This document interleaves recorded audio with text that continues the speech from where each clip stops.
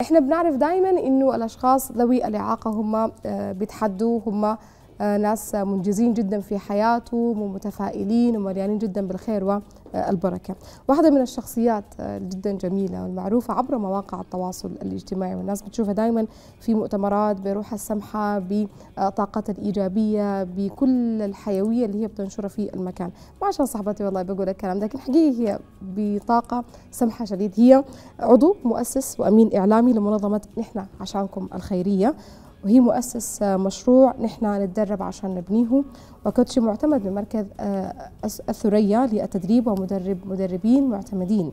وعضو مساعد مشروع ملتقى المنظمات التطوعية ومتحدثة تحفيزية وسفير العمل الطوعي للعام 2015 وعضو مؤسس للمشارك لسلسلة تحدي وإرادة.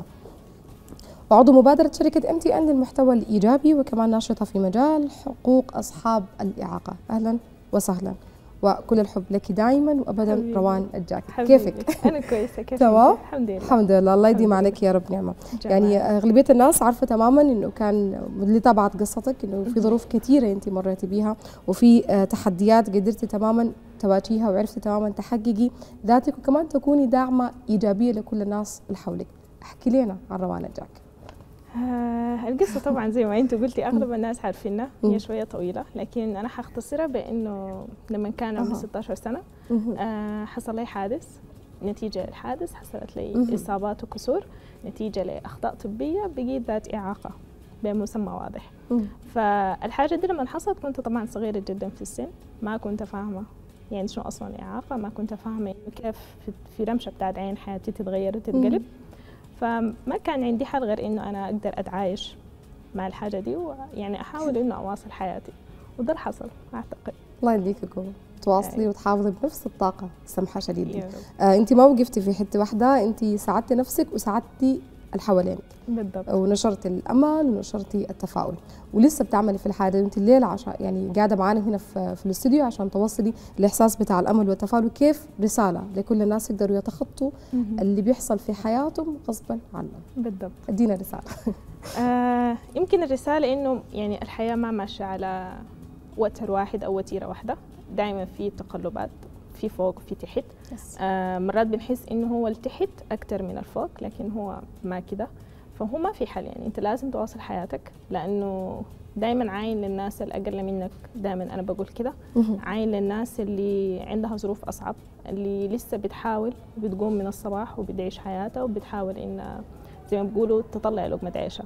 فأعتقد الحاجة دي ممكن يعني هي تكون حاجة واقعية ومليانة أمل إنه إذا الناس مواصلة يعني فأنا حقعد أعمل شنو؟ تمام. لازم أواصل. تمام.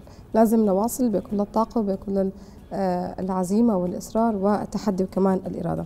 أنت شاركتي في سلسلة تحدي أيوة. وإرادة. واحدة من الحاجات كانت جدا جميلة وانتشرت عبر مواقع التواصل الاجتماعي وتخلي كل إنسان آه، كان بيشوفه هو لامسته. فعايزاكي تحكي برضو عن مشاركتك وتجربتك في السلسلة دي. أوكي آه، سلسلة تحدي وإرادة هي فكرة جات آه، بيني أنا وصاحبتي أسرار عصام مم. كنا قاعدين مرة كده بندردش في ال social media فقلنا إنه يعني إحنا دائما بنعاني يعني أنا مثلا بتحصل لي حاجات سيئة في اليوم. بقوم بمشي ببكي لاسرار اسرار مم. بتحصل لي حاجات سيئة تقوم تجي تبكي لي فإحنا تعبنا من من الواقع تعبنا من آه، الحاجات الما مهيئه. فقلنا ليه ما نكتب الحاجات دي على بروفايلاتنا وهي أصلا مثلا بروفايلاتنا فيها المجتمع شوية كبير.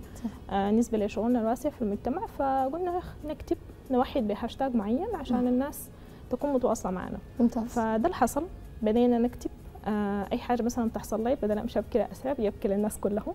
والناس بيبكوا معي أسرار نفس الحكاية بعد شوية المجموعة كبرت وبقينا حوالي خمسة أو ستة أشخاص كل واحد بيكتب في الحاجة دي.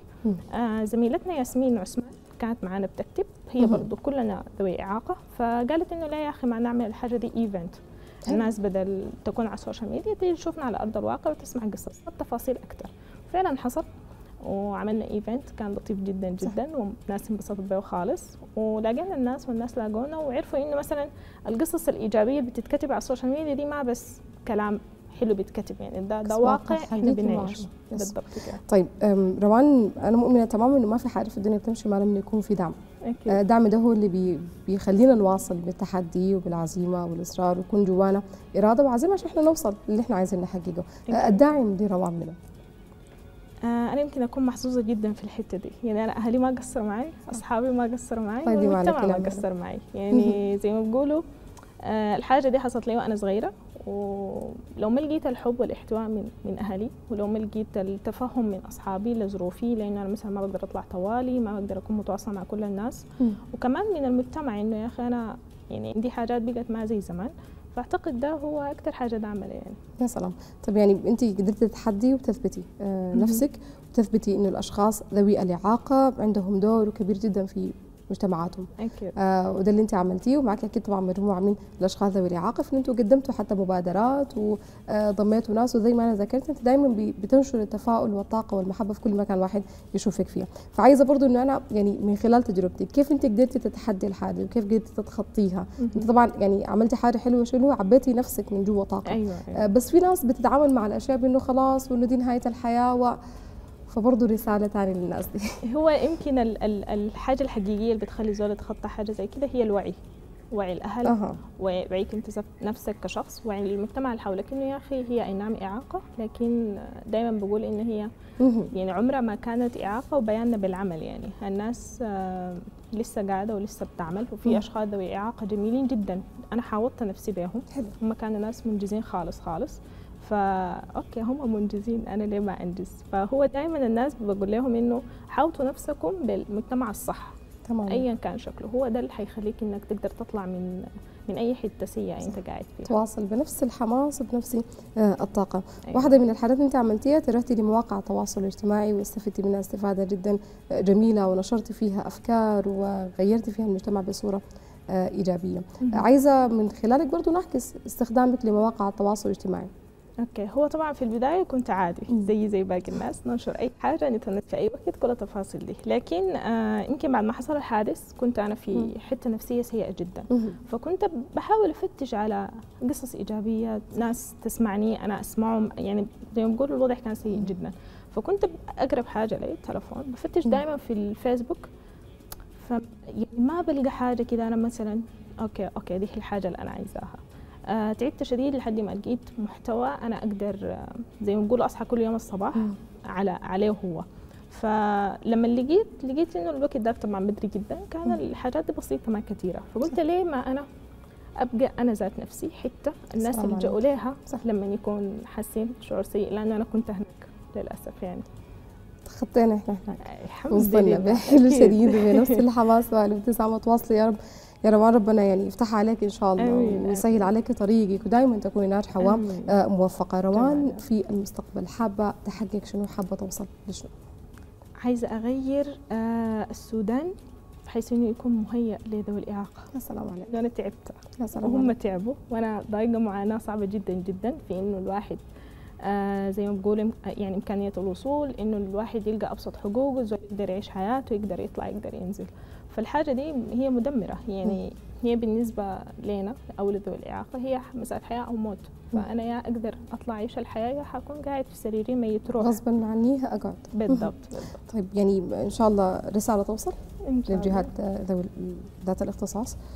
ويعني نؤمن تماما بمقدرات الأشخاص ذوي الإعاقة إن هم. قادرين تماما على التغيير هم ناس ممتلكين لإرادة وهم ناس ممتلكين لعزيمة وقادرين فعلا هم يضيفوا كل آه، السماحه والجمال تجاه المجتمع السوداني أنا بفخر بك دائما يا. روان وبسعد جدا. بوجودك كل مرة بشوف حقيقة بتعبر بطاقة إيجابية ربنا يا رب. يديم عليك نعمة ويحفظك إن شاء الله رب، يا رب. ويديك كل الخير ويحفظك يا رب. ثانية. شكرا روان. أجاك. شكرا.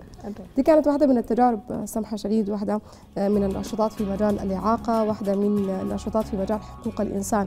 قصص كثيرة جدا مليانة بالإلهام ومليانة جدا بالإرادة ومليانة جدا بالتحدي حاولوا فتشوا كده. عينوا حواليكم. حتلقوا السودان ده مليان جدا بكمية سماحة ما عادية زي روان وغيرها. كثير شديد. نطلع فاصل قصير. ومن بعد نواصل حلقتنا.